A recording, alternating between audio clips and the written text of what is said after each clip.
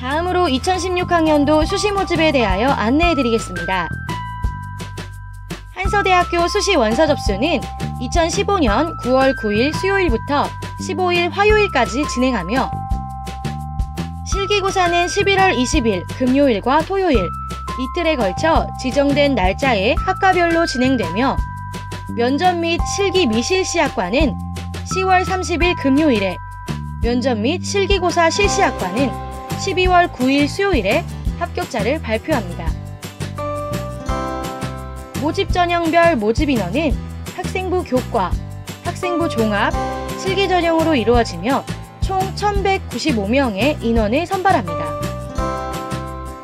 학생부 교과 전형에 대해 안내해 드리겠습니다. 정원 내 전형으로 인문계 고교 출신자 특별 전형, 지역인재 특별 전형, 사회기여자 특별 전형이 있으며 정원 외 전형으로 농어촌 학생 특별 전형, 특성화 고교 출신자 특별 전형, 기회균형 선발 특별 전형, 단원고 특별 전형이 있습니다. 항공운항학과, 헬리콥터 조종학과를 제외한 전 학과에서 모집하며 학생부 100%로 선발합니다. 항공관광학과는 학생부 교과 전형에서 면접 시험이 있습니다. 반영 비율은 학생부 40%, 면접 60%로 선발합니다.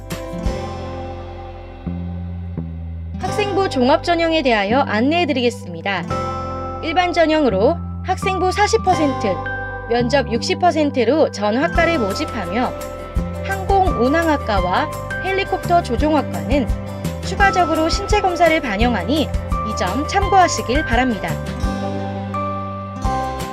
실기 전형으로는 산업 디자인학과, 시각 디자인학과, 공간 디자인학과, 영상 애니메이션학과, 실용 음악과, 신체 활동 디자인학과, 해양 스포츠학과가 있으며 학생부 20%, 실기 80%, 경호비서학과는 학생부 20%, 면접 30%, 실기 50%로 선발합니다.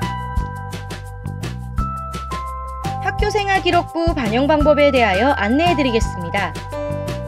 교과 성적은 90%와 출결 10%로 이루어지며 지정 교과 영역 각각 두 과목씩 총 8과목을 반영합니다.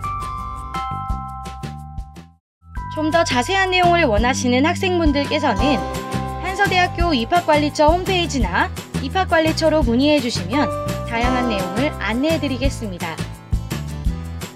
꿈과 미래를 실현하는 디딤돌 한서대학교에서 2016학번 신입생 여러분들을 만날 수 있기를 진심으로 기대합니다. 감사합니다.